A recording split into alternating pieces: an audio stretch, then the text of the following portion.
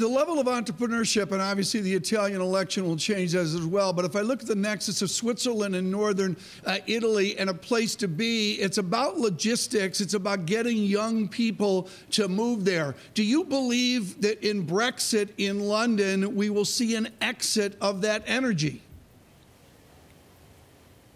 Tom, that's already happening. Uh, we've seen it happening on our on our own editorial floor. You can go and speak to. You know, it's not just the creative sector. I mean, there's many sectors, but it is happening. This notion that people think, oh, well, some of the you know the, the fluffier ends of the business where people earn good salaries, uh, they, they they have a good quality of life in London. Will they go to Paris? Will they move to Berlin? Is it going to be two or three years out?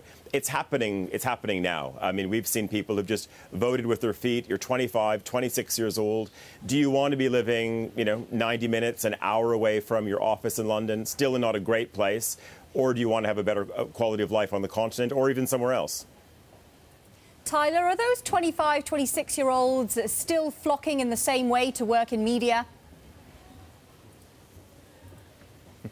Very good question. I guess you have to scan the Bloomberg floor uh, as well. Uh, yeah, you know, I think the good news, um, absolutely. Um, I think one of the challenges, though, back to Tom's question, is, you know, is London an attractive place for people uh, in in media? But of course, whenever we post uh, a position, um, and certainly editorial positions, uh, there is no shortage of people coming out of the colleges in London, coming out of Columbia, coming out of the schools in Canada, um, who who want to apply. Uh, there might be sort of certainly maybe a different view um, when they come into that environment. How quickly are they going to be, or will they have their name on a masthead? Uh, or will they be around a microphone?